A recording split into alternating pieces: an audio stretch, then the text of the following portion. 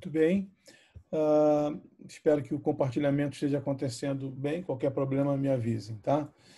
Bom, vamos falar sobre via motora, né? Ou seja, a via que controla, é, que faz o controle do sistema nervoso da, da motricidade, da estimulação dos músculos. Então, vamos falar sobre o controle motor. É, a, a, via motora ela é muito complexa, né? Ela envolve diversos fatores que, de uma forma geral, são agrupados ou sempre foram agrupados em dois grupos. Um grupo que nós chamamos de via sistema piramidal e um outro grupo que nós chamamos de sistema extrapiramidal. Né? Hoje em dia, nós sabemos que esses dois sistemas estão completamente é, intrincados, né? É, não existe um sem o outro. Então, é, até se postula, hoje em dia, não se usar mais essa nomenclatura. Só que clinicamente é o que é usado. Então, quando você for estudar semiologia neurológica, você vai aprender em sistema dividir o comando motor em sistema piramidal e extrapiramidal. Você vai, vai estudar síndromes piramidais e síndromes extrapiramidais. Então, se do ponto de vista fisiológico nós sabemos que isso é errado, não corresponde exatamente à verdade, do ponto de vista clínico é o que existe. Então não adianta você é, mostrar para vocês aqui agora. em alguns livros vocês vão ver isso, mas no livro descritos por quem realmente faz a anatomia aplicada à prática de saúde, hum, sempre se fala em sistema piramidal e extrapiramidal, porque é como os clínicos vão se referir a isso, são os critérios diagnósticos que eles usam são baseados nisso e os critérios de tratamento idem, ou seja, é algo que não pode ser abandonado. O que, que nós vamos mostrar nessa aula? Sistema piramidal e sistema extrapiramidal. O que é a visão clássica e a visão atual? Né? Qual é a anatomia da via piramidal? O que nós chamamos de primeiro neurônio e segundo neurônio da via? E qual é a definição de síndrome piramidal? Ah, se nós compreendermos isso ao término dessa aula, você vai ter compreendido o mais importante que você precisa compreender para entender as síndromes que acontecem quando você tem lesões tipo AVC, etc. O que, que é um, um comando para se executar um movimento? O que, que é um comando motor? É um comando que começa nos centros mais superiores de, de, de, de comando né, da, da, do ato motor e se estende até a comunicação lá com o músculo que vai executar esse, esse ato motor. Então, existe uma hierarquia para esse comando, ela começa nos centros superiores e vai terminar lá naquele motoneurônio alfa da medula espinal. Essa hierarquia, então, desses movimentos voluntários, né, que são os movimentos que, que são controlados pelo sistema piramidal, ela tem diversos momentos. Primeiro, um momento de planejamento, quando você planeja, vou executar tal ato, vou pegar aquele, aquela xícara ali com a mão. Né? Esse planejamento é feito no, no, no córtex, na área cortical, estamos falando de telencéfalo, de associação. Tá? Depois que você planeja esse movimento, você então tem que programar como esse movimento vai ser executado. Essa programação é feita pelo cerebelo, pelos núcleos da base que enviam então essa mensagem para o córtex pré-motor.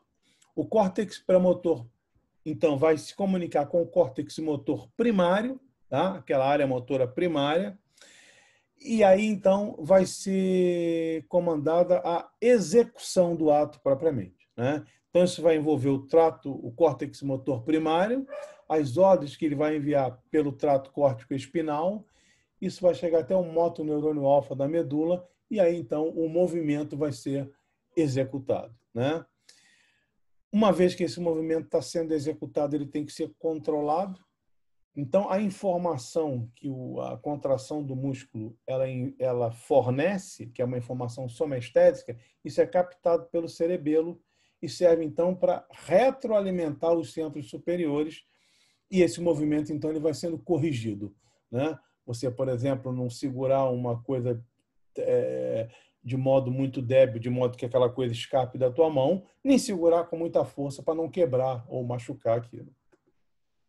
Então, o córtex de associação, uma vez que houve o planejamento do que vai ser feito, ele comunica isso aos hemisférios cerebelares. Os hemisférios cerebelares e o núcleo da base planejam, programam essa, essa, essa execução desse movimento, passam essa informação para o córtex pré-motor. O córtex pré-motor passa, então, essa informação para o córtex motor primário, né? E no córtex motor primário, então, saem ah, os axônios que vão levar essa mensagem até lá embaixo na medula espinal. Né? Esses axônios caminham agrupados sob o nome de trato córtico-espinal ou trato piramidal, e esse trato piramidal vai terminar lá na medula, naquele motoneurônio alfa, no corno anterior da medula os axônios desse, desse, desse neurônio, eles vão se unir e vão formar um nervo espinal, que vai abandonar ali a medula pelo foramen intervertebral e vai então se dirigir para inervar os músculos, né? Isso, aí então, uma vez sendo informado aos músculos, o movimento vai acontecer pela contração dos músculos. Essa contração ela vai gerar uma informação somestésica, né? Uma, uma informação sensitiva, é, motora. Essa informação somestética vai ser passada ao cerebelo e o cerebelo então vai retroalimentar o córtex motor primário e o trato córtico espinal com essas informações e com isso vai havendo a modulação do movimento. OK? Então, aqui estão os, esses componentes anatomicamente. Então, nós temos aqui os componentes do planejamento, são as áreas de associação, essa área frontal aqui mais anterior e essa área parietal e temporal, é o córtex de associação, né? Aqui ocorre o planejamento do movimento. Depois, então, uma vez que se decidiu fazer esse movimento, ele tem que ser programado. Essa programação vai ser feita no cerebelo, né? Vai ser feita também nos núcleos da base, tá? E essa informação, então, vai ser levada ao córtex pré-motor córtex premotor ele fica logo adiante da área motora primária, da área, aquela área 4 de Brodmann. O córtex premotor, então, de posse dessas informações, vai passar essas informações para a área motora primária, aquele giro ali pré-central, logo adiante do, do sulco central, né? E daqui, então, é, essa informação, através do trato córtico espinhal, vai chegar até a medula e vai chegar até o motoneurônio alfa da medula. Daqui, então, vai sair um nervo que vai até o músculo e vai dar ordem para o músculo se contrair. Essa contração do músculo vai gerar essa informação somestésica que vai retroalimentar o cerebelo e o cerebelo vai retroalimentar aqui essa área motora primária e vai corrigir os comandos. Ó, é, é, é comanda o músculo para ele se contrair mais devagar ou mais forte. Enfim, ela vai ir regulando o movimento para que ele seja executado a contento. Então, são desde o planejamento, programação, execução e o controle pela retroalimentação são as etapas, é o que nós chamamos de hierarquia do comando motor. Né? Qualquer uma dessas etapas pode estar com problema e, e esses problemas então vão influenciar diversamente o ato motor. Então vejam aqui, ó, isso aqui é um slide para mostrar o seguinte. Nós, eu mostrei para vocês ali uma linha reta, né? Uma linha reta do, do sistema piramidal. Mas olha aqui, ó, diversas áreas do encéfalo ó, se comunicando ou com os núcleos da base, né? diretamente aqui, ó, com os núcleos da base, tá vendo? Ou indiretamente com o cerebelo, tá vendo aqui, ó? Ela vindo para os núcleos pontinos na ponte e esses núcleos pontinos, através daquele trato ponto cerebelar, indo até o cerebelo. O cerebelo e os núcleos da base, então, gerando uma informação que volta aqui pelo tálamo, pela parte motora do tálamo, e vai, então, influenciar a, o, tanto o planejamento quanto a programação desses movimentos. Isso aqui, pessoal, é sistema extrapiramidal, núcleos da base. Isso aqui é cerebelo, ou seja, que eu falei para vocês. Não existe uma via piramidal pura e simplesmente controlando essa, esse, essa, essa ação muscular voluntária. Tá? Essa é a via principal. Esse é o eixo que, que vai levar o comando. Mas esse eixo está ligado a diversas estruturas secundárias que também vão agir nesse controle motor. Então, qualquer alteração de qualquer uma dessas estruturas secundárias vai, vai, vai provocar alteração na execução do movimento. Desde alterações que dificultem o início do movimento ou ações que dificultem é, o desenrolar do movimento, como quando você tem lesão aqui dos núcleos da base, até ações que vão provocar alterações na programação do movimento quando você tem lesões aqui no cerebelo. Tá? Então, a via piramidal é a via direta, é a via que nós vemos ser influenciada muitas vezes no AVC, mas essa via ela se comunica com outras vias. Tá? E a alteração de qualquer uma dessas comunicações vai ter um efeito final influenciando um mau funcionamento desse comando motor. Muito bem. Então, sistema piramidal, né? conceitos clássicos e críticas. O que, que a gente sempre é, soube sobre o sistema piramidal, o que, que existe nos livros clássicos? O sistema piramidal é um conjunto de fibras né, que partem da área motora primária, aquela área 4 de Brodmann, ali, o, o aquele giro pré-central. O sistema é, piramidal tem um primeiro neurônio da via motora, que é o neurônio piramidal, que vai do córtex cerebral, ali daquela área motora primária, até o motoneurônio da medula.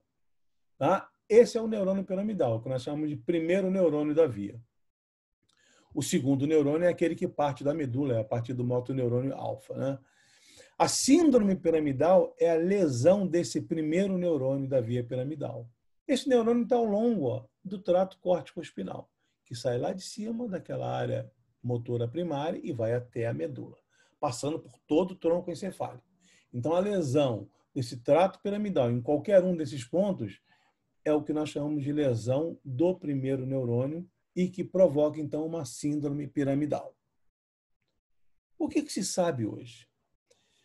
Primeiro, que sistema piramidal é um conjunto de fibras que partem de áreas amplas, de amplas áreas do córtex cerebral, 60% da área pré-central, né? quer dizer, no que está à frente daquele giro, giro, é, giro motor primário ali, do giro, giro, giro pré-central. E áreas anteriores a ele. E 40% no córtex sensório motor do lobo parietal. Todas aquelas fibras que, que, que ali pelo tálamo, por exemplo, e vão é, alimentar de informações toda aquela região motora, e isso vai influenciar no comando motor, elas chegam através, por exemplo, desse córtex sensório motor do lobo parietal. Ou seja, essa via piramidal, ela não é como ela é descrita classicamente, um conjunto de neurônios cujos corpos neuronais estão na área, naquele giro pré-central. Não, eles vêm de várias regiões ali do, da, do, do córtex telencefálico. Existe um neurônio da via motora, né, que sai lá do córtex cerebral e vai até o motoneurônio da medula. Isso é outra coisa que já caiu por terra há muito tempo. Nós sabemos que são vários, que a gente chama de primeiro neurônio, na realidade, inclui vários neurônios. Tá? É, só existe um, um, um, tipo de neurônio, que é o neurônio na, naquelas camadas ali da, do córtex, os que saem da, das células gigantes de Betz, tá? aquela camada de células gigantes. Isso aí é em torno de 2% dos neurônios da, da, do trato córtico espinal. Só esse neurônio que sai dessas células gigantes que vai ter um axônio comprido o suficiente para ir até o motoneurônio. Todos os demais se comunicam antes com interneurônios. Então, quando a gente fala em primeiro neurônio, né, e aí quando você fala em lesão no primeiro neurônio, você fala em lesão piramidal, na realidade a gente está falando em qualquer neurônio que esteja situado entre o córtex telencefálico e o motoneurônio alfa, tá? que podem ser diversos. Então, primeiro neurônio é tudo que tem trajeto central, seja no telencéfalo, seja no tronco encefálico, seja na medula espinal. Tá? Isso é que é primeiro neurônio. Não, é um, não existe um primeiro neurônio, existem vários neurônios que compõem o que nós chamamos clinicamente de primeiro neurônio. Qualquer um deles lesados tem a mesma expressão clínica. Tá certo? O que nós chamamos de segundo neurônio é depois que acontece a, a conexão com o motoneurônio alfa da medula, aí então é o que forma o nervo espinal, é a parte periférica, ok? Síndrome piramidal é a lesão do primeiro neurônio da via piramidal, né? A lesão isolada dos neurônios da via piramidal é rara. Por quê? Porque está tudo, lembra ali da, da, da, da cápsula interna? Está tudo juntinho ali.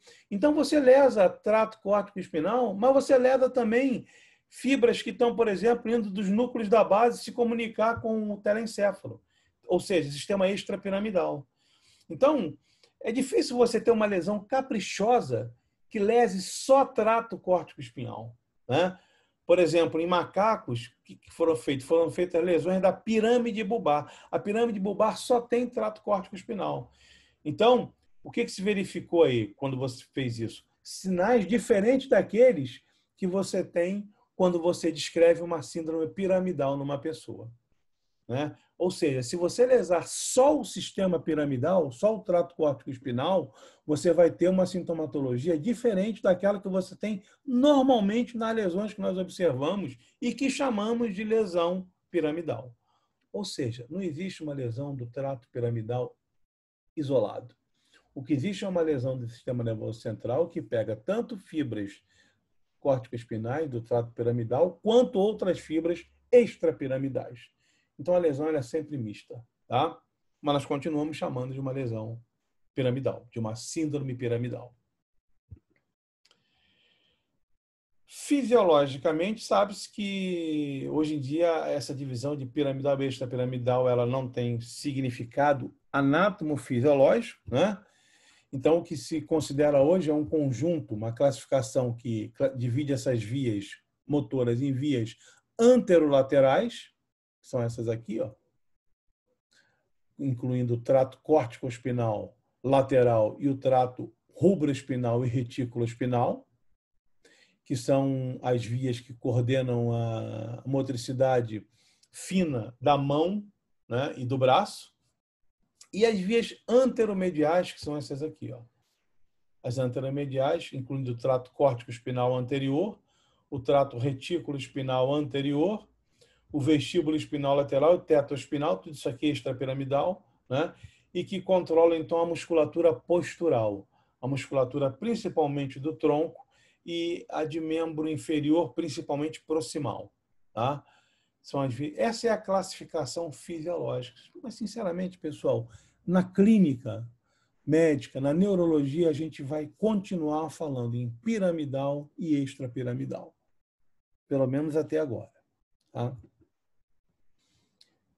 Então, as vias piramidais e extrapiramidais são vias que caminham paralelamente, mas não independentemente, tá?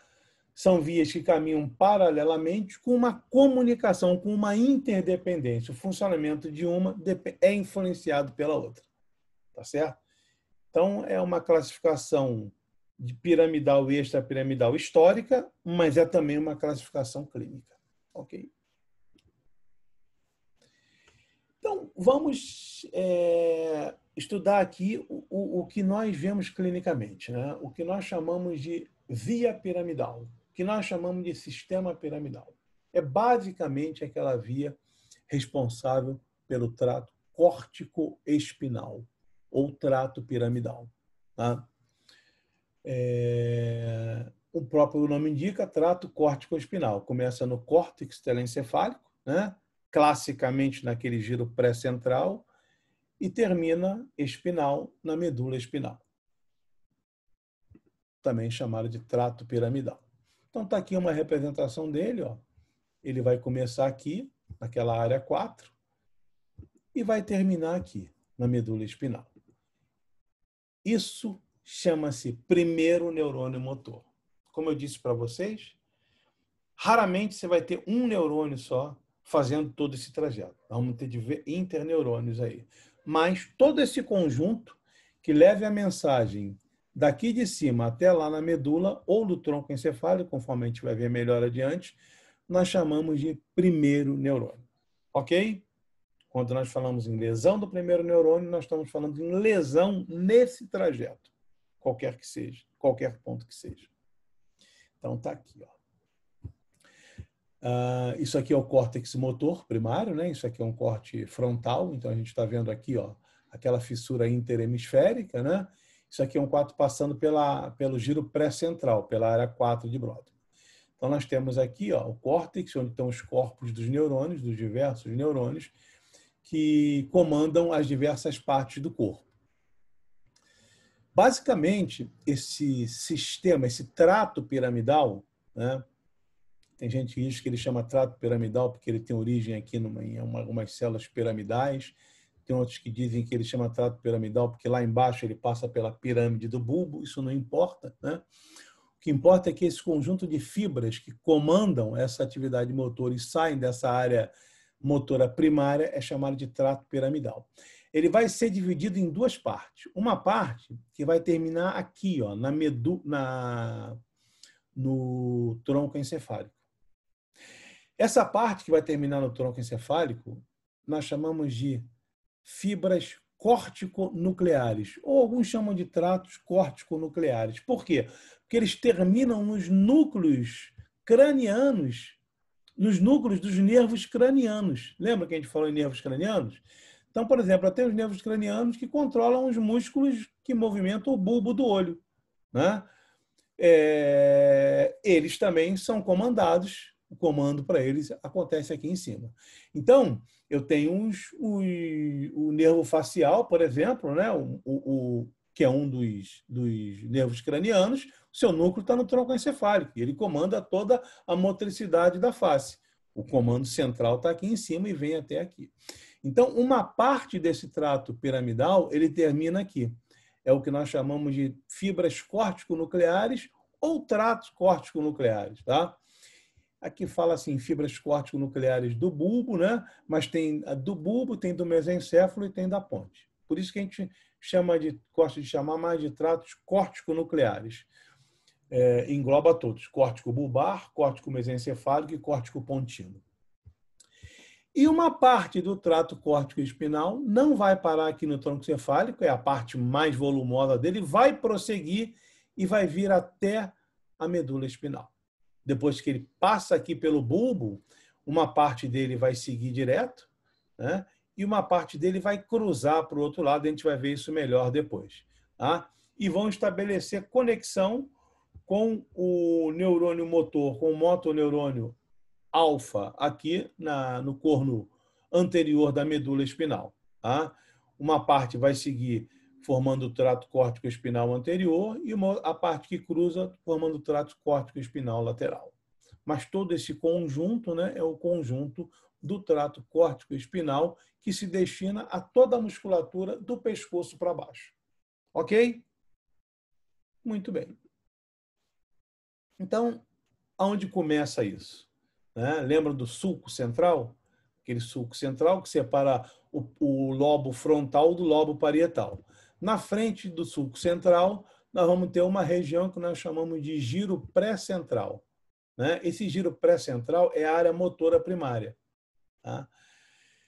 Esse grande anatomista, neurologista, chamado Corbinian Brodmann, né? Que viveu no final do século XIX e início do, do século XX, ele descreveu, ele mapeou essas áreas, eu já falei isso com vocês na, na aula de telencéfalo, ele mapeou a, a áreas histologicamente é, diferentes, né, parecidas, mas com algumas diferenças, no, no telencéfalo. São as chamadas áreas de Brodmann. E entre essas áreas de Brodmann, a área 4 de Brodmann né, fica localizada no giro pré-central, corresponde ao córtex motor primário. É essa área aqui. Então, nós temos aqui ó, o sulco central, na frente dele o giro pré-central e atrás dele o giro pós-central. O giro pós-central está associado à sensibilidade, o giro pré-central é a área motora primária. Né? Anteriormente, posteriormente, nós vamos ter aquelas áreas motoras suplementares, áreas motoras de, de associação, etc. Mas a área motora primária, onde normalmente nós descrevemos o início da via piramidal, é a área 4 de Brodmann. O que, o que se faz é ignorar o que acontece antes da mensagem do comando chegar a ela. Né? Muito bem.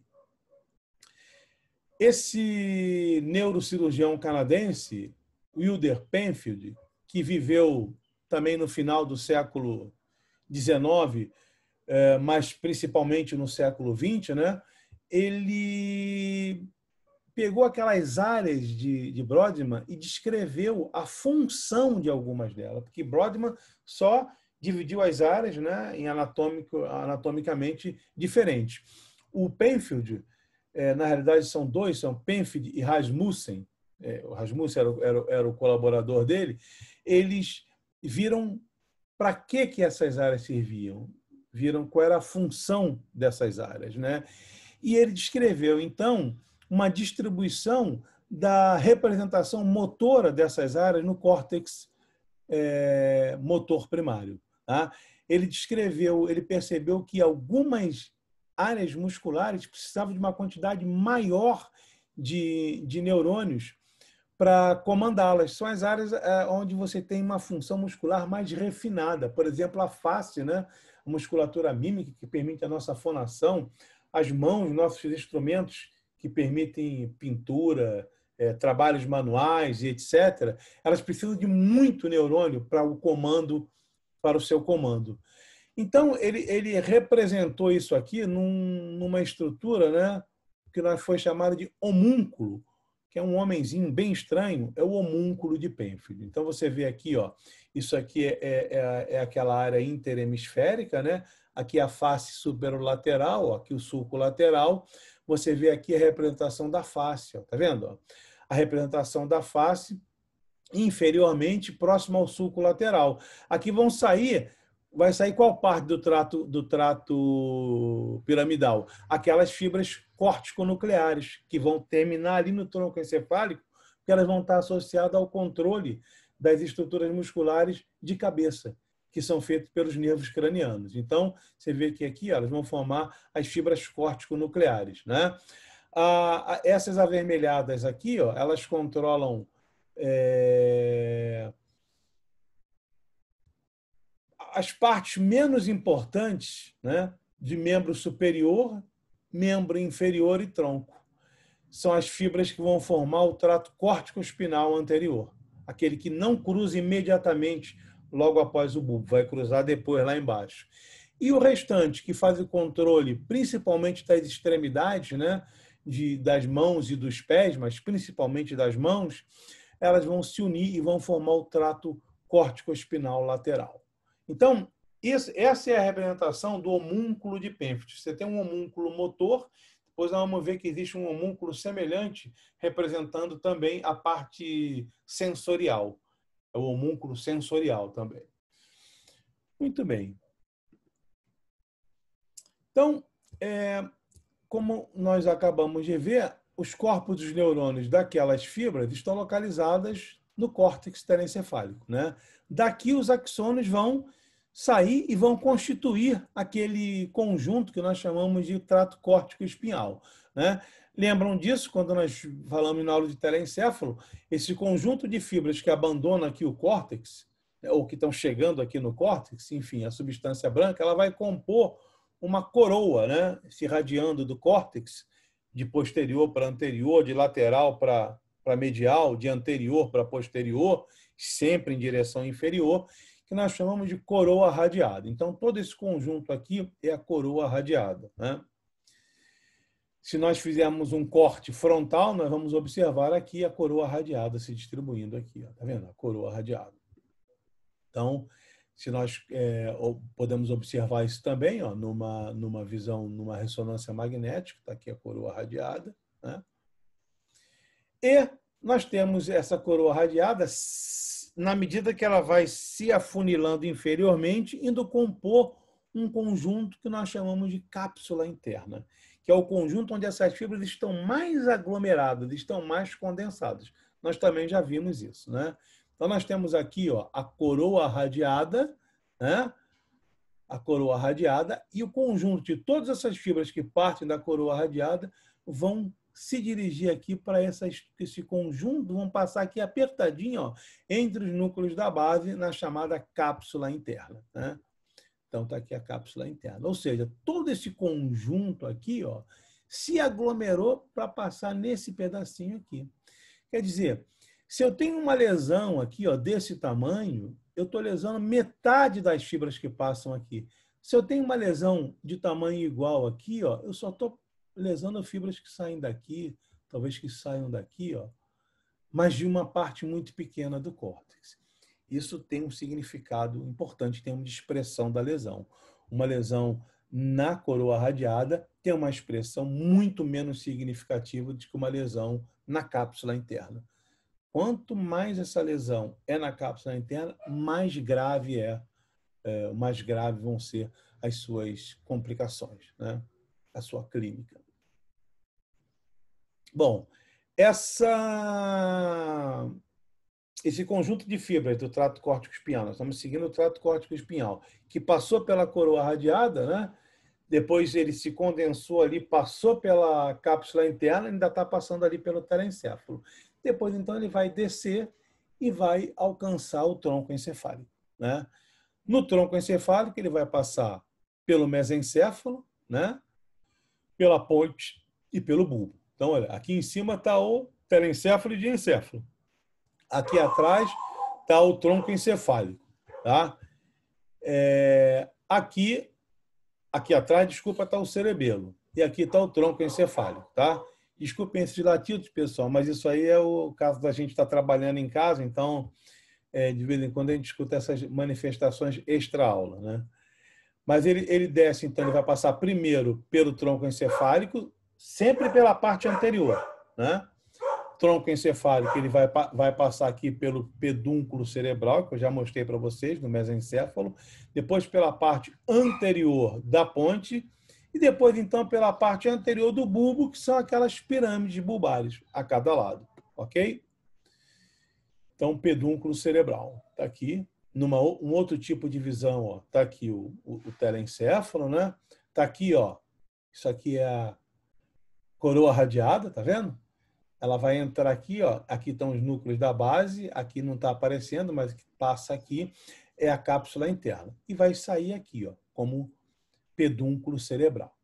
Então, o trato córtico espinhal vai sair aqui, vai passar pela parte anterior da ponte e depois vai passar aqui pelas pirâmides na parte anterior do bulbo e vai chegar à medula espinhal. Ok? Então, está aqui o pedúnculo cerebral, a fossa interpeduncular. Novamente ali, um corte, um corte horizontal, figura que vocês já conhecem, né? Aqui está o mesencéfalo, aqui está o aqueduto do mesencéfalo, e aqui está o pedúnculo cerebral né? Vê que é na parte anterior que ele passa, né? Lembrando daquele Mickey, né? Ele passa na orelhinha do Mickey, né? Então tá aqui, ó. Agora já a gente virou, inverteu, pôs a parte anterior para cá, a parte posterior para lá. Aqui está o aqueduto do mesencéfalo, né? E aqui está a base do pedúnculo, aqui está o pedúnculo cerebral. Aqui estão as fibras córtico-espinhais, né? Essa coloração aqui, ela cora fibras axônicas, né? Então, eles estão com tudo isso aqui é o trato córtico espinhal, ok? Do pedúnculo cerebral, então, ela vai alcançar a ponte. Ela passa pela parte anterior da ponte. Reparem que a ponte tem essas, essas fibras transversais aqui que fazem a comunicação na ponte, dos dois lados da ponte. Se você fizer um corte assim, ó, você vai ver essas fibras transversais, ó, e entremeadas a elas, tá vendo aqui, ó, o trato córtico espinhal. Ele está passando aqui cortado por essas fibras. Lá atrás está o quarto ventrículo. Tá? Então está aqui. Ó. Tudo isso aqui são as fibras do trato córtico espinhal passando, descendo em direção à medula. Então, depois que ele ultrapassa a, a ponte, né? Passou pelo pedúnculo, passou pela ponte, ele vai alcançar então o bulbo. No bulbo, ele vai passar aqui anteriormente e o conjunto de fibras dele é tão significativo que determina uma estrutura anatômica no bulbo, que é a chamada pirâmide bulbar. Então está aqui o bulbo, também conhecido como medula oblonga, né? Então vejam aqui, ó, as pirâmides bulbares, né? Tem esse aspecto piramidal, piramidal aqui estilizado em vermelho, mas na realidade é isso, são as pirâmides. É... Então vejam aqui num corte também, ó, que cola os axônios, olha aqui as pirâmides, tá vendo? Aqui a porção aberta do bulbo, ó, quarto ventrículo, e aqui, ó, o, as pirâmides bulbares, ok? Circundadas aqui, correspondendo ao trato córtico espinal. Então, ah, aqui uma representação do bulbo, aqui uma representação da medula espinal. Quando essas fibras chegam aqui ao bulbo, elas cruzam. É a chamada decussação das pirâmides. Tá? Então, elas cruzam para o outro lado, 80%, mais ou menos, 80% a 90% dessas fibras vão cruzar para o lado oposto e vão seguir no trato córtico-espinal lateral. E uma parte delas torno de 20, 10 a 20%, segue como trato córtico-espinal anterior. Essas fibras também acabam cruzando, quando elas só que elas cruzam no momento em que elas estabelecem conexão com o motoneurônio alfa da medula. Quando elas vão estabelecer, aí elas cruzam e estabelecem conexão com o motoneurônio contralateral. Ou seja, no final, na prática, todo o trato córtico-espinal é cruzado. Tá? Isso é uma das noções mais importantes que existe em neuroanatomia significa o seguinte: toda a informação que está vindo do hemisfério cerebral esquerdo cruzou e vai inervar o lado direito do corpo, porque o, o nervo que vai sair desse lado aqui vai vir para o lado direito do corpo. Ou seja, qualquer manifestação central que eu tenha no trato córtico espinhal, qualquer lesão central até esse momento de cruzamento no bulbo, ele vai ter uma expressão clínica contralateral. Porém, a partir do momento que ele está na medula, qualquer lesão que ele sofra, ele vai ter uma manifestação clínica homolateral. Então, a lesão do trato córtico-espinal, né, antes da decussação das pirâmides, tem uma manifestação clínica contralateral. Por isso que a pessoa que tem um AVC do lado direito tem uma paralisia ou paresia do lado esquerdo. Né? A lesão na medula espinal, ela vai cursar com uma lesão motora do mesmo lado. Se eu lesar a medula, por exemplo, do lado esquerdo, eu vou ter uma repercussão na musculatura do lado esquerdo do corpo. Ok? Se eu lesar o telencéfalo do lado esquerdo, eu vou ter uma repercussão na musculatura direita do corpo. Isso é, é, é, é a noção mais importante que existe de anatomia do sistema nervoso, para você entender essa manifestação clínica contralateral das lesões do trato piramidal, acima da decussação das pirâmides. Ok? Então, vamos lá. Vamos aqui uma síntese, né? O que nós chamamos de trato piramidal? O trato piramidal vai ser composto por três tratos. Uma é a porção córtico-nuclear, trato córtico nuclear. É a parte do trato né, que vai se dirigir a tronco encefálico e vai permanecer aqui. Ele vai sair daqui e vai terminar aqui, por exemplo. Vai terminar aqui, por exemplo. Vai terminar num dos núcleos dos nervos cranianos do tronco encefálico. Ok? É a parte mais curta. Então, ele pode terminar no mesencéfalo, no núcleo do óculo motor e no núcleo do troclear, né? do terceiro e do quarto par, pares cranianos, na ponte, né? no núcleo do trigêmeo, que é o quinto, do abducente, que é o sexto, ou como está mostrado aqui no núcleo do facial, que é o sétimo, ou no bulbo, no núcleo do glossofaringe, do vago, do acessório ou do hipoglosso, do nono, décimo, décimo primeiro ou décimo segundo. Então, essas são as fibras, a parte do trato piramidal que compõem o que nós chamamos de trato córtico nuclear. Às vezes são vezes chamado de trato córtico bulbar ou córtico pontino, tá? ou córtico mesencefálico. Mas o certo é córtico nuclear para cada um desses núcleos aí. Depois, a parte dele que vai, se, vai maior vai continuar em direção ao bulbo e ultrapassar o bulbo em direção à medula. Essa parte vai ser formada pelo córtico espinal lateral, que vai corresponder a 75% a 90% das fibras, tá?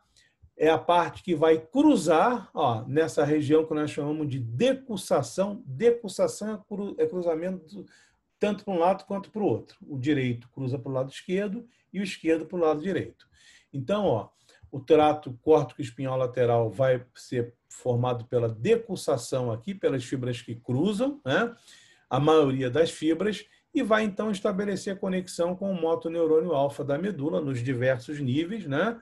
Na medida que ele vai descendo. E 10 a 25% dessas fibras ó, do trato, elas vão descer e não vão decussar aqui. Elas vão continuar descendo e só vão cruzar quando no momento em que elas estabelecem conexão com o motoneurônio alfa.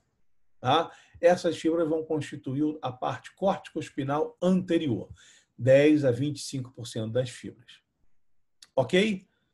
Esses, esse córtico espinal lateral está associado à, à inervação das extremidades, né? a parte mais fina, e o trato córtico espinal anterior está mais associado à inervação da musculatura postural, musculatura do tronco, musculatura da raiz da, do membro inferior, né? uma musculatura mais responsável por nos manter, por exemplo, em pé, eretos, né?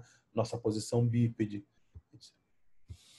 Vejam que aqui, passando pela coroa radiada, né? aqui passando pela cápsula interna, depois passando pelo mesencéfalo, pela, pela ponte e pelo bulbo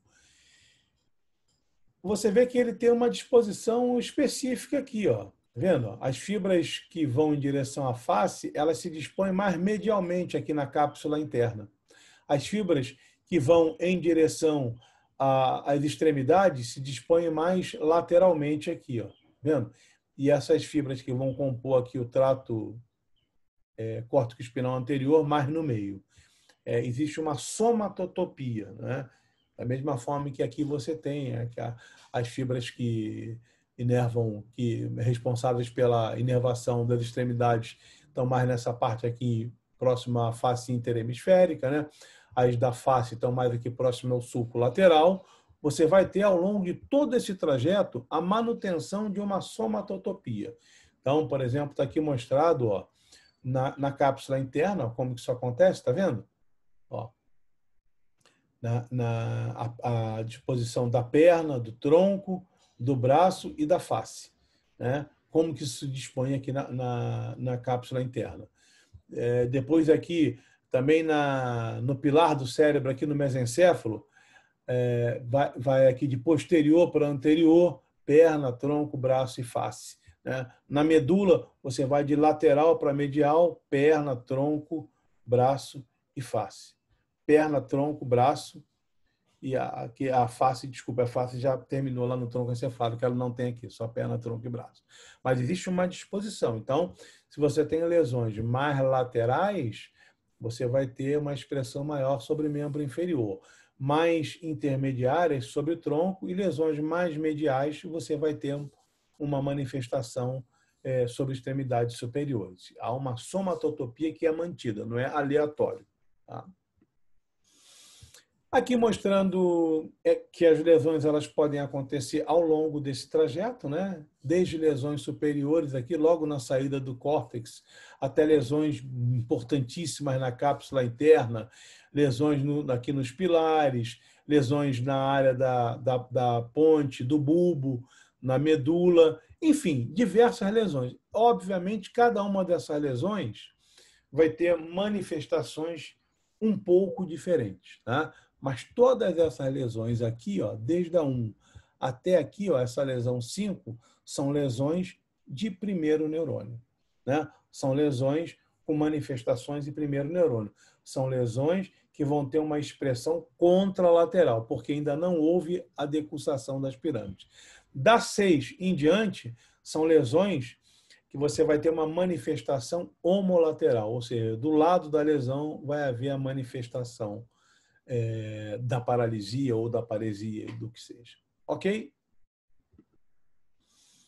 Então, qualquer lesão desse primeiro neurônio nós chamamos de uma lesão que provoca uma síndrome piramidal. E o que é uma síndrome piramidal? Então, lesão do primeiro neurônio motor em qualquer nível. Tá? Ela vai ter repercussão sobre a força da ação muscular, sobre os reflexos musculares e sobre o tônus do músculo. Tá? Em relação à força, ela vai provocar uma diminuição da força. E você testa isso com testes de força contra resistência. Né? Por exemplo, você pega, manda a pessoa puxar o membro superior e você resiste a isso. Você vai, sempre comparando um lado com o outro, você vai poder ter uma noção de se há uma diminuição ou não dessa força. Sempre bilateral. Sempre bilateral para que você possa comparar. Você nunca compara uma pessoa com outra, você compara a pessoa com ela própria.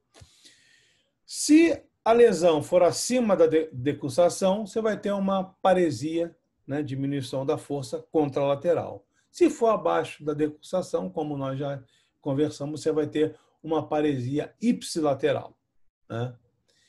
Você vai ter alterações dos reflexos. Normalmente, o que acontece? Você perde quando você tem uma lesão, como eu disse para vocês, a gente fala em sistema piramidal, mas já tem sistema piramidal e extrapiramidal envolvido. Então, o, o sistema extrapiramidal ele tem uma ação moduladora sobre o piramidal. Quando você tem uma lesão do sistema piramidal e do extrapiramidal também, que é o que acontece, você perde essa modulação. Então, você tem, às vezes, um exagero do reflexo, você tem uma hiperreflexia, né? como está mostrado aqui. Ó. Tá vendo? Você tem aqui, ó, ó É, infelizmente não está mostrando, pessoal. Não sei porquê. Esse é um filminho que mostrava essa, essa manifestação. É, eu peço desculpas para vocês, mas normalmente como é que você testa esses reflexos? Esses reflexos são reflexos né, onde você provoca um estiramento do músculo e como reflexo o músculo se contrai.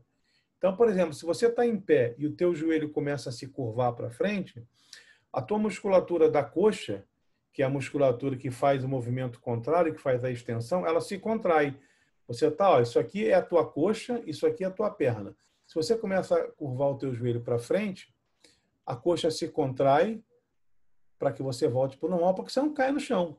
É um reflexo postural. Então, como é que você testa esse reflexo? Você bate com o teu martelo no tendão do músculo da coxa que está no joelho. Né? Quando você bate nesse tendão, você puxa esse tendão um pouquinho para baixo. Então você estica esse músculo e ele se contrai automaticamente. O que você vai observar é que essa contração, quando você bater com o martelo no tendão de um lado, vai haver a contração e a tua perna vai ser jogada para frente, extensão da perna. Né? Quando você bater no outro, onde há a lesão, ela vai ser jogada com uma intensidade maior para frente. É uma hiperreflexia. Tá? Então, você tem, isso acontece que você tem uma perda da modulação negativa do sistema piramidal, que é feita pelo extrapiramidal. É, você tem alteração que nós chamamos de clonos, né? É, são contrações musculares involuntárias devido ao estiramento do músculo.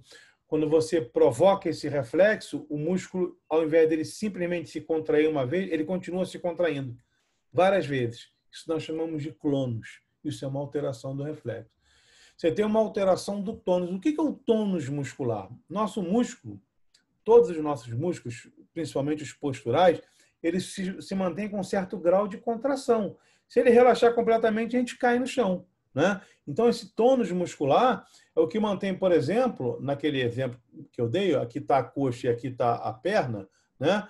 ele mantém você assim. Se você for afrouxando, você vai fazer isso aqui e vai cair no chão. Então, ele sempre mantém a musculatura da coxa com certo grau de contração que provoca a extensão do joelho. Então, você fica na posição bípede. Né? Se você dobrar, pegar uma pessoa e pegar a coxa dela com a mão e a perna com a outra e fechar, igual você fecha um canivete, você consegue fazer isso normalmente. Numa pessoa com alteração do tônus, você tem um aumento do tônus com lesão do sistema piramidal. Então, essa musculatura daqui de cima, ela se mantém mais contraída. Ela se mantém mais no sentido de manter essa extensão. Então, é difícil você dobrar a perna do paciente. Então, você dobra, vai tentando, tentando, de repente ele cede e você dobra. Igual um canivete, quando você fecha, né? Você vai fechando, ele resiste, chega uma hora que você ultrapassa aquela resistência e ele fecha facilmente. Né? Chama-se isso de sinal do canivete. Isso é uma hipertonia, demonstra uma hipertonia espástica. E alguns reflexos patológicos. O que são reflexos patológicos? São reflexos que não existem normalmente. O principal dele é considerado um dos principais sinais, se não o principal, da clínica neurológica, é o sinal de Babinski. Tá? O que é o sinal de Babinski? É a extensão do hálux quando você estimula a planta do pé. Então, você pega qualquer coisa rombuda e passa na planta do pé, né, no sentido longitudinal, é, no, maior, no maior diâmetro, e você vai ver que o, o, o hálux vai fazer isso aqui, ó, vai para cima, vai fazer a extensão. Tá? Normalmente ele não deve fazer nada, ou às vezes fazer uma flexão. Tá? Isso, quando ele vai para cima, essa extensão do hálux é um sinal de Babinski positivo. Tá? É, significa uma disfunção do sistema piramidal, uma lesão do sistema piramidal. A exceção é a criança. Né? A criança recém-nascida, no início da, do seu desenvolvimento, como ela não completou ainda sua mielinização, ela pode apresentar a extensão do hálux, a estimulação plantar, e isso não é considerado um sinal de Babinski. Isso é uma reação natural dela. Existe o que nós chamamos de são o sinal de Shadok, né? foram, é, foram descritos depois de Babinski, mas provocam a mesma coisa. Se estimular, por exemplo, a face lateral do pé, você também, na lesão do sistema piramidal, provoca a, a extensão do, do que são os sucedâneos do Babinski. Né? Então, essas são as alterações que você tem é, quando você tem uma lesão piramidal. Tá? Então, isso é uma síndrome piramidal. Quando você tem uma síndrome piramidal, você vai ter esses sinais. Tá? E aqui eu deixei por último para mostrar para você uma coisa que é bastante interessante. Ela se refere àquele feixe córtico nuclear, o trato córtico nuclear, e é um, uma noção muito importante que a gente tem que ter, porque justamente a gente falou em, em lesão central, né? que é a lesão piramidal, e lesão periférica, que é a lesão do nervo. É a lesão depois que é estabelecida a última conexão do sistema, do sistema piramidal, seja ele córtico nuclear, seja ele córtico espinhal. Né? Então, aqui nós vamos mostrar uma particularidade do sistema do, do, do córtico nuclear. Isso aqui é a representação da inervação feita pelo sétimo par craniano, pelo nervo facial. É a inervação da face. Então, essa parte de cima representa o telencéfalo, representa o, o trato córtico-espinhal, tá? a parte central. Isso aqui é a representação do núcleo do nervo facial no tronco encefálico. Isso aqui é, é a representação da face, ó, com o nariz aqui no meio, as partes superiores ao nariz, ou seja, os quadrantes superiores, e as partes inferiores, os quadrantes inferiores. Como acontece essa inervação? Essa parte aqui superior, né, a parte telencefálica, era dividida em duas partes. Uma parte faz a inervação da parte, se comunica com a parte superior do núcleo do facial, ou seja, os corpos neuronais que estão aqui estabelecem conexão com os corpos neuronais da parte superior do núcleo. A outra parte, mais inferior, estabelece conexão apenas com, a, com os neurônios que estão na parte inferior do núcleo, ok? Muito bem. Os neurônios que estão na parte superior do núcleo inervam a parte superior da face. Observe uma coisa aqui, ó. Essa parte superior aqui do, do, da via, ela tanto estabelece conexão com a parte superior do núcleo do facial direito, quanto com a parte superior do núcleo do facial esquerdo. Ou seja, ela faz uma inervação bilateral. Essa parte que inerva a parte inferior, ela só faz inervação do contralateral. Ela só se comunica com a parte inferior do núcleo contralateral. Pois bem, a parte superior do núcleo faz a inervação da parte superior da face, a parte inferior do núcleo faz inervação da parte inferior da face. Ok? Mesma coisa do outro lado. Parte superior faz inervação com a parte superior do núcleo bilateralmente, direita e esquerda, e a parte inferior só faz conexão com a parte inferior do núcleo contralateral. Ou seja, essa parte superior aqui, ó, do lado direito, influencia a inervação superior tanto do lado direito quanto do lado esquerdo e vice-versa. essa parte superior do lado esquerdo influencia tanto a inervação da parte superior da face do lado esquerdo quanto do lado direito. Essa parte inferior aqui do lado, do lado direito só influencia a inervação da face do quadrante inferior contralateral.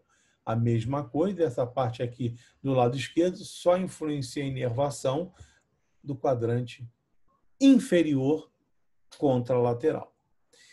Se eu tiver uma lesão aqui, ó, desde aqui até aqui e até aqui, em tudo que está vermelho aqui, ó, eu vou ter uma lesão central.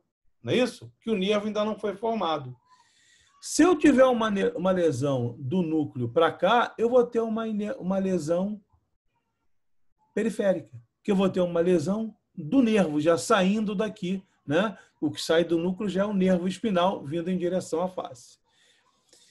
Se eu tiver uma lesão central, o que, que vai acontecer? Uma lesão central, vou lesar ali, vou perder tudo isso né? retornando, ó, eu vou perder isso que vem para cá, eu vou perder isso que vem para cá e vou perder isso que vem para cá. Então, vou perder tudo isso. Ok? Muito bem. O que, que aconteceu aqui? Ó?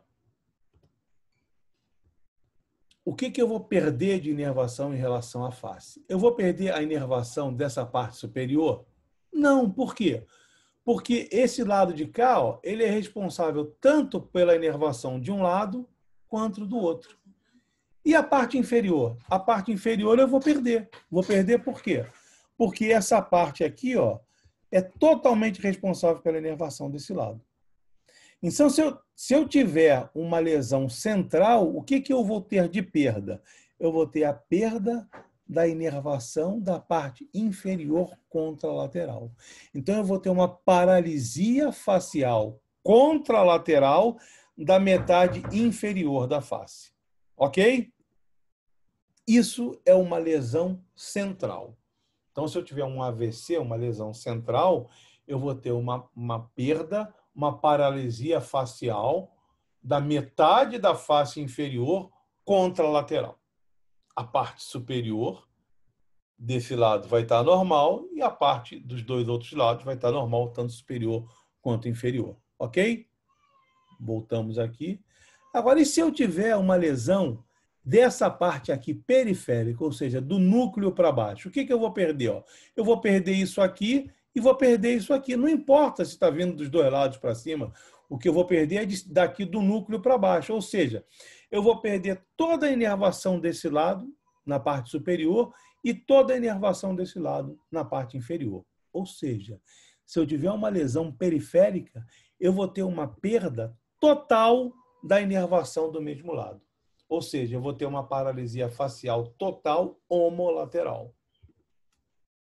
Tá certo? Isso é uma lesão periférica. Então, se eu tiver uma paralisia facial, uma pessoa que se apresenta para mim com uma paralisia facial, eu já posso de cara diagnosticar se essa lesão é uma lesão central ou se é uma lesão periférica. Se ele tiver, como aqui, ó, tá vendo? As rugas mantidas de um lado e do outro aqui, ó, uma paralisia só inferior aqui do lado direito, eu posso concluir que foi uma lesão central do lado esquerdo, né? Agora, se ele tiver como nesse lado aqui, ó, tá vendo? Só rugas de um lado, ó, tá vendo? Ou seja, eu tive uma paralisia, porque o que fica enrugado é o lado bom, né? O lado bom, a musculatura, ela repuxa, porque ela está funcionando, o outro fica esticadinho, é o lado paralisado. Então, se eu tiver toda essa região direita aqui lisa, esse lado todo está paralisado. Então, o que, que eu digo? O que, que eu concluo? Que eu tive uma lesão periférica homolateral do lado direito lesão central contralateral, ou seja, do lado esquerdo, afetando a, a parte inferior da face do lado direito, lesão periférica homolateral, ou, homolateral, ou seja, do lado direito, afetando toda a face do lado direito. Então, pessoal, isso é uma noção importantíssima para vocês diferenciarem uma paralisia central de uma paralisia periférica. Quando você tem um AVC, normalmente você tem uma expressão é, na face e uma expressão no corpo, mas você pode ter, às vezes, uma expressão somente facial, ou pelo menos bem evidente, mais facial, né, do que no restante do corpo. Então, essa é uma noção muito importante. Então, O que, o que eu procurei mostrar para vocês foi é, o que nós chamamos de via piramidal, ou seja, a via que faz o controle da motricidade voluntária. Tá? A via que nós usamos para estabelecer os principais diagnósticos de paralisias motoras. Tá? Obviamente, essa via ela tem é, influência de outras vias, principalmente do sistema nervoso extrapiramidal. O sistema nervoso extrapiramidal é um sistema também extremamente complexo, que tem que ser objeto de uma outra aula, e isso será dado também. Mas, se vocês inicialmente tiverem essa noção sobre sistema piramidal, sobre a hierarquia do comando motor, aonde é feito o planejamento do comando motor, aonde é feita a programação desse planejamento do motor, a via que ele segue, como é feita a retroalimentação que corrige esse planejamento motor, o trajeto dessa via do córtico espinhal, né, que é a via piramidal, até o tronco encefálico, da parte córtico nuclear, fazendo inervação de, de estruturas da cabeça e da face, depois até a parte córtico espinal, formando trato córtico espinal lateral para as extremidades, movimentos finos, trato córtico espinal anterior para a musculatura postural, o que cruza na decussação das pirâmides, o que não cruza, né? e a noção é, em relação à face do que é uma paralisia facial de origem central e o que é uma paralisia facial de origem periférica, vocês terão tido grandes ganhos nas noções básicas que vocês têm que ter para a compreensão da doença neurológica, principalmente da doença motora, principalmente da doença vascular associada aos acidentes vasculares e para a semiologia dessas doenças, né, para o diagnóstico dessas doenças. Então, pessoal, era isso que eu queria falar hoje aqui para vocês. Uh, conseguimos falar isso em, em, em, uma hora, que mais do que isso, neuro é muita coisa, né? E agora eu queria saber se, se não sei se tem algum professor é, presente, algum professor da anatomia presente que queira se manifestar, algum colega da pós-graduação que queira se manifestar. As manifestações são muito bem-vindas, né? É... Fora isso, nós temos perguntas aqui de alunos, né? A Andressa, ela pergunta: quando o senhor diz sistema piramidal, significa apenas o trato córtico-espinal ou trato córtico-espinal e córtico-nuclear? Significam os dois. Isso é muito confuso esse negócio de piramidal, né? Porque não se sabe nem exatamente por que, que se fala piramidal, se é, tem relação à camada piramidal do córtex ou a pirâmide, né? Se você pensar, ah, é a pirâmide bulbar lá embaixo, então o trato córtico nuclear não devia ser considerado, né?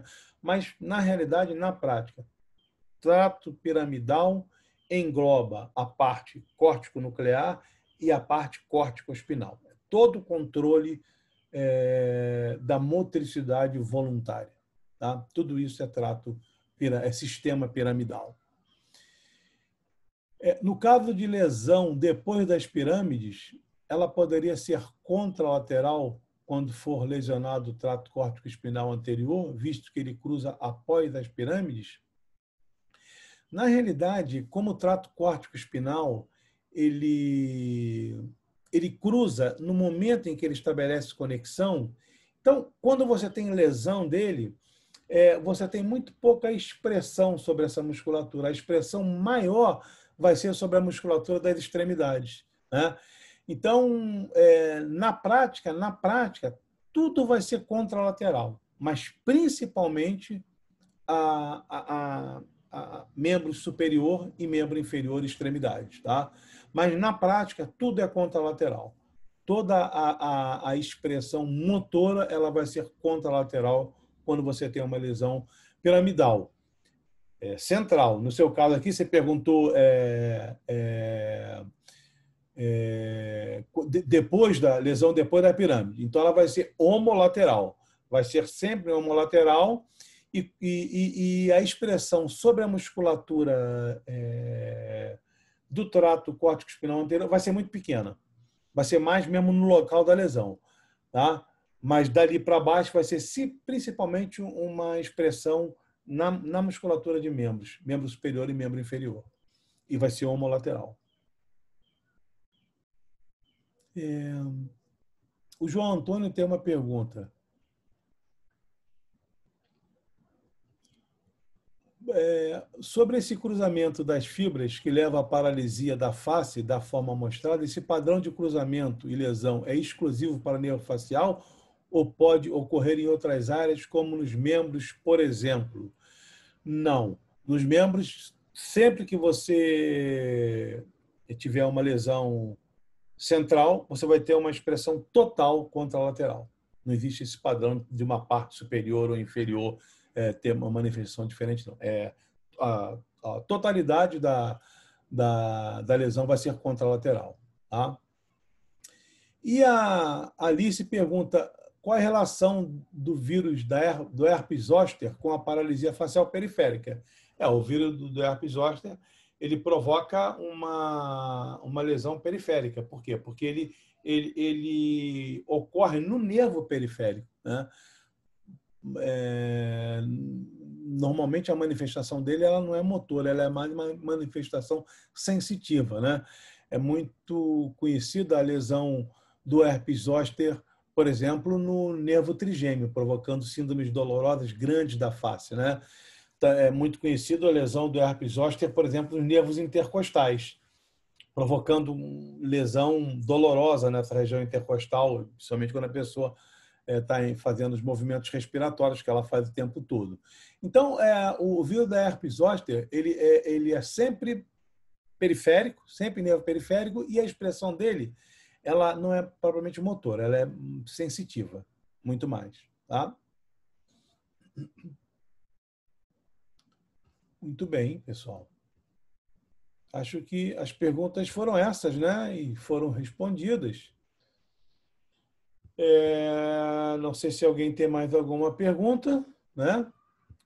Parece que não. É, sempre que vocês tiverem dúvidas depois das aulas, sempre que vocês tiverem perguntas que vocês lembrem depois, é, podem mandar para a gente, podem mandar por aquele é, nosso WhatsApp, né? E a gente responde sempre também, tá bom? É, agradeço aos, aos, a gentileza dos elogios que, estão sendo feitos sobre a aula. É, neuro, neuroanatomia é uma coisa complexa, né? essa parte de via ela é, é, o, é, o, vamos dizer, é a síntese da complexidade. Então a gente tem que ir dando assim em pílulas para que você possa. Mas hoje a gente deu uma pílula bastante densa, né? E, e eu acho que, que dá para a gente. Agora é aquela coisa, né, pessoal? É ir no livro, dar uma lida para você consolidar esse conhecimento. Vai nos livros, é, pega a parte de via no livro, né? Nos Atlas agora, tanto no Sobota quanto no Prometheus, tem essa parte de via bem organizada. Né? É, naquele livro que eu falei para vocês também do Sobota, tem essa parte de via. Né? Uma última pergunta aqui, a diferença entre via e trato não tem diferença. Né? Um trato é um conjunto de fibras, e esse é o conjunto que forma a via. Via a gente usa esse nome só para fazer uma analogia com uma via, né? uma rua e tal. Mas a via e trato é a mesma coisa. Tá certo? É, geralmente aqui nesse caso a gente fala em via piramidal, se referindo ao conjunto dos tratos, né? ou de cada via especificamente. Ok, pessoal? Bom, então um grande abraço para todos. Mais uma vez foi um prazer estar aqui com vocês. Eu fiz um convite para vocês na, na página do, do no nosso WhatsApp, né? É, para que vocês nos acompanhem Hoje vai ter uma live às 7 horas da noite. Eu com o Lucas Cotini, que é o céu do Jaleco, ele é anestesista, ele é intensivista também, e a gente, ele me convidou para que nós dessemos uma aula sobre anatomia do sistema do coração, muito aplicada. Então a gente vai falar sobre anatomia do coração e bastante sobre exames, né? Sobre ecocardiografia, sobre como as válvulas aparecem é, é, é, nos exames, fluxo sanguíneo, é, etc. Então, vocês estão convidados para as sete horas, tá? Eu botei esse endereço lá. É, e, e, eu não sei se eu consigo colocar ele aqui também, né? Mas eu vou colocar, já está na nossa página do WhatsApp, o pessoal que é da pós-graduação, eu vou colocar esse endereço na nossa página da equipe urogenital, para que vocês também é, convidados, seria um prazer ter vocês lá. hoje, sete horas. Um grande abraço para todos. Até logo.